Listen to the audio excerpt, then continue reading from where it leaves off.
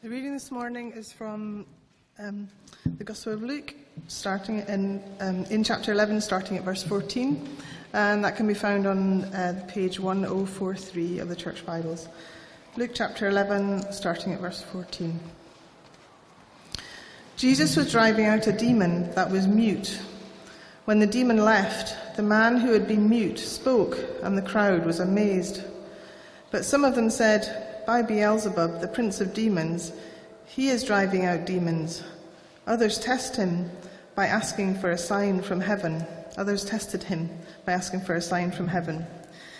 Jesus knew their thoughts and said to them, Any kingdom divided against itself will be ruined, and a house divided against itself will fall.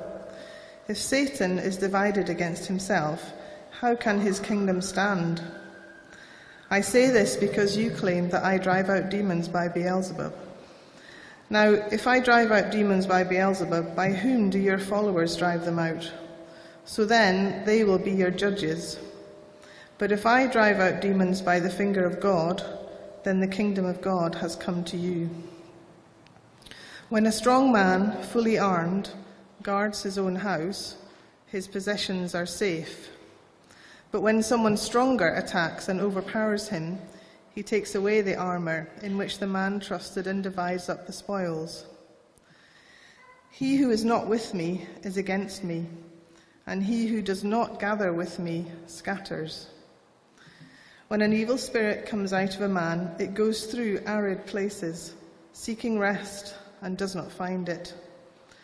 Then it says, I will return to the house I left. When it arrives, it finds the house swept clean and put in order. Then it goes and takes seven other spirits more wicked than itself, and they go in and live there. And the final condition of that man is worse than the first. As Jesus was saying these things, a woman in the crowd called out, Blessed is the mother who gave you birth and nursed you. He replied, Blessed rather are those who hear the word of God and obey it. This is the word of the Lord.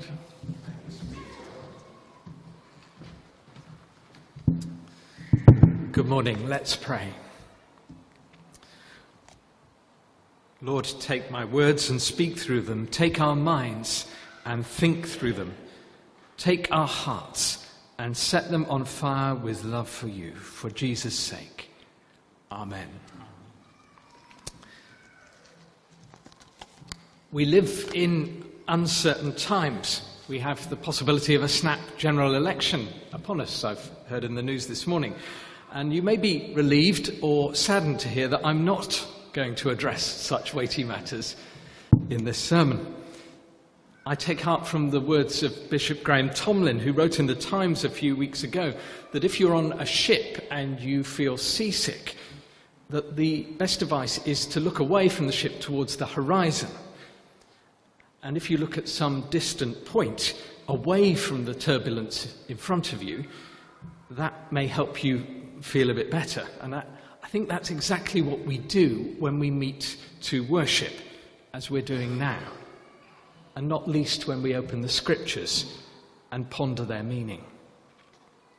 Now, in recent weeks, we've been looking at a range of passages from Luke's Gospel, and I'd encourage you to find in the Bibles in, in your chairs um, to find the passage that Fiona's kindly read for us.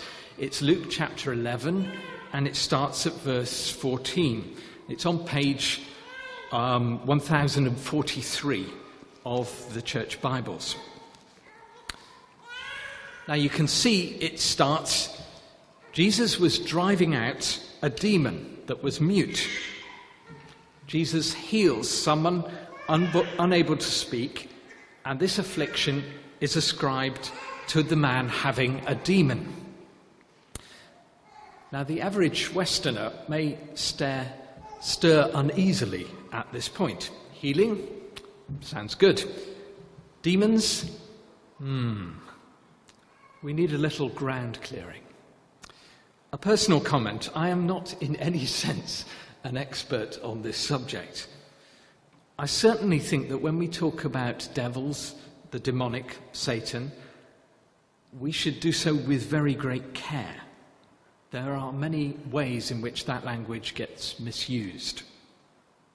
Yet it's there in Scripture and it shouldn't be dodged. We should also note that it is rare in the New Testament for illness to be linked to the demonic. Indeed, there are a wide range of church leaders in the New Testament who fall ill, like Paul and Timothy, and they are, that is never ascribed to anything but the, them being ill. We should also note that if talk of evil and Satan make us squirm, we might ponder the last hundred years in which more people have been killed by other people than in any century in history despite us being wealthier than in any other century in history. I think it's well said that if there is no devil, then there is certainly someone around doing his work. And beyond this, there is the notion of the psychosomatic, which is an explicit recognition that the bodily and the non bodily affect each other. We may struggle to understand this, but they do. Now, in saying all of that, that's a kind of throat clearing. Because as you can see from verse 15 in the passage, most of the passage is in fact not about the healing, but about the healer. For in verse 15, skeptics in the crowd say, By Beelzebub, the prince of demons, he, that is Jesus, is driving out demons. And Jesus vigorously responds that this is nonsense. Satan is the power that afflicts, and it is Satan that is dethroned by healing. The skepticism deserves to be treated with skepticism. And then in the passage we get to verse 22, and I take this as the heart of our passage. Sorry, verse 21 and verse 22. Jesus says a short parable to the crowd. When a strong man, fully armed, guards his own house, his possessions are safe. But when someone stronger attacks and overpowers him, he takes away the armour in which the man trusted and divides up the spoils. Now, I think this is the heart of the passage. A strong man guards his house, but someone stronger overpowers him and carries off the spoils. And this is in response to that healing. And what Jesus is saying is that in the parable, the first strong man is Satan, the embodiment of evil. The someone stronger is Jesus himself. In Jesus' healing of the dumb man, in all his other healings and exorcisms, in his teaching and in his miracles, here is almighty strength, almighty power coming into our world, dethroning the powers that would be. Here is the true Lord, before whom all lords will one day bow. Now, as we think of Jesus, we rightly stress service and weakness, and that, the way that permeates the Gospels and the entire New Testament. Jesus washing his disciples' feet, Jesus powerless on the cross, Jesus poor to make us rich. This is absolutely right. This is central to the Gospel. But this is only part of the Gospel. And in this passage, Jesus embodies not weakness but strength. And he is coming to take power. In this passage, Jesus, the strong man, is giving notice that he is coming to rule. We are in the middle of Lent. We're on our way to Good Friday and Easter Day. And the cross is, of course, power perfected in weakness. But make no mistake, it is power. The one whose life appeared worthless is acting as ransom for the lives of us all. The one crucified in utter weakness is going to be raised in glory. And it is Easter Day when the strength of God is made wholly manifest as he raises Jesus from the dead.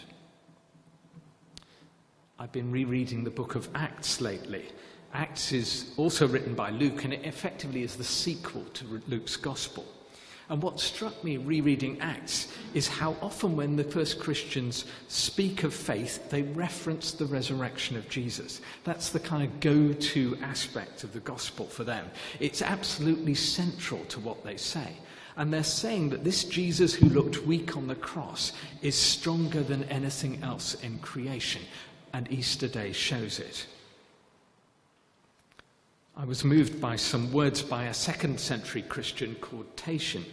He was writing in a context where persecutors had burnt the bodies of Christian martyrs in Lyon, that's from France, and then thrown the ashes in the River Rhone, all in an effort to mock and undermine the Christians' hope of resurrection. And Tatian said this even though fire should destroy my flesh, even though I should be dispersed through rivers and seas or torn in pieces by wild beasts, I am gathered up in the treasuries of a wealthy Lord.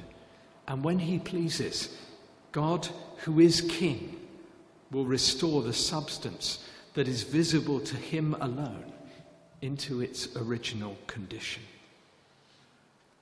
Here is a rock solid trust in the resurrection.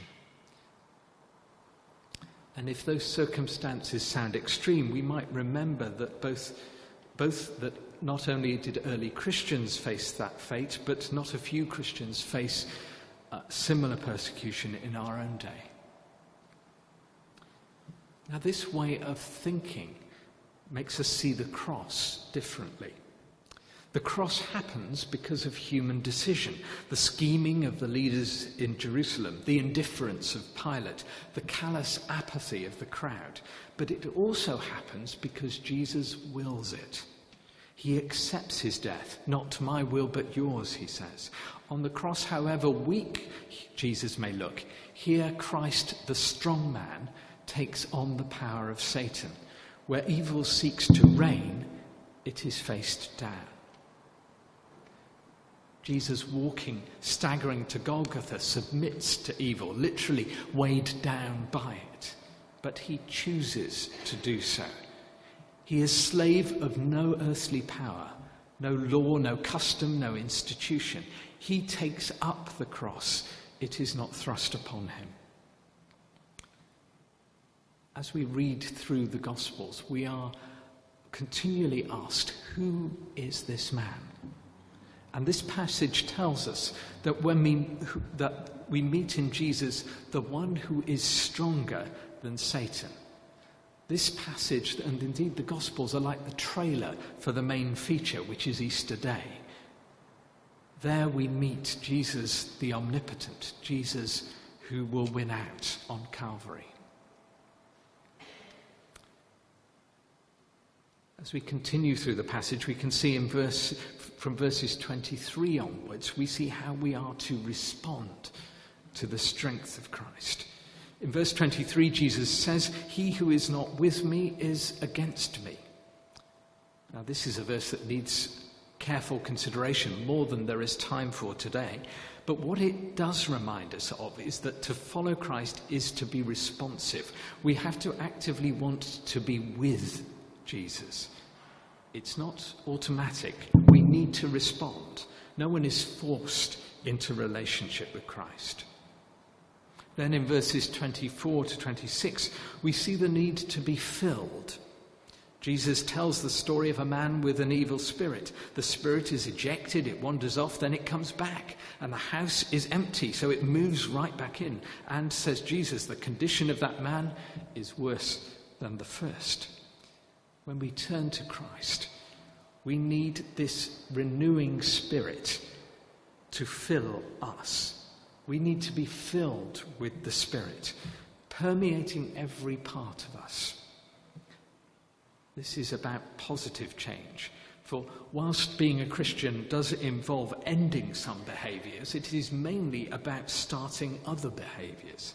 Having mouths filled with thanksgiving and encouragement, not with moaning own criticism, using money with generosity, not with meanness. Only by the Holy Spirit filling our lives can we begin to do so. We need to be responsive, to be filled. And then, thirdly, in verses 27 and 28, we need to be obedient. Someone in the crowd cry, cries out to Jesus, Blessed is the mother who gave you birth and nursed you. And Jesus replies, Blessed rather are those who hear the word of God and obey it. Following Jesus, who is strong, means letting that strength be manifest in the way we live. As we obey God's word, the strength of Christ is conducted through our lives to the lives of others. Called to be responsive to God, to be filled with the Spirit, to be obedient to His word, we will then start to be victorious in our lives no longer slaves to the opinions of others, fear of mortality, fear of failure. We will stand tall in the strength of the risen Christ. Where do you need strength?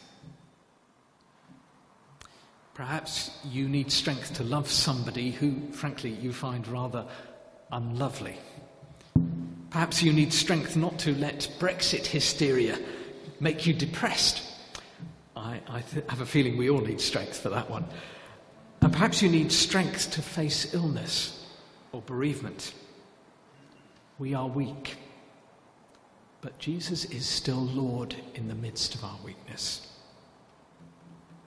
We are weak bodily and mentally, but we have Jesus who has gone before us and with us into pain and death. In these uncertain times, particularly, we need strength to speak peaceably of others, most especially of those with whom we disagree. What has been your speech? And I mean just not your verbal speech, but your online speech. Are you for Brexit? Do not scorn Remainers. Are you for Remain? Do not scorn Brexiteers. Let the strength of Jesus' love permeate us and that means our words as much as our actions. We meet on Sunday, the day of Christ's resurrection. And from earliest times, Christians have seen every Sunday as, in some sense, a celebration of Easter. Now, whether that means we should have Easter eggs every Sunday, I, I leave for you, you to decide. But it does mean that every Sunday we reconnect with the strength of the God that raised Jesus from the dead. We are weak, but He is mighty. Remember that. We are weak, but He is mighty. We are weak, we are drawn to sin like moths to a flame.